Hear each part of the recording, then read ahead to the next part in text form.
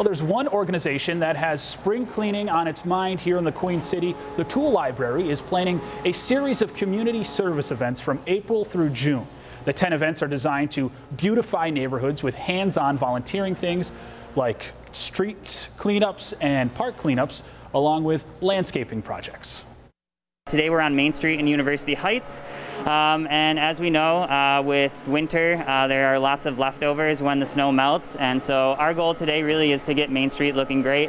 Um, and again, you know, when streets look like they're cared for, I think that sends a message uh, that this is a community that cares, this is a community that's invested.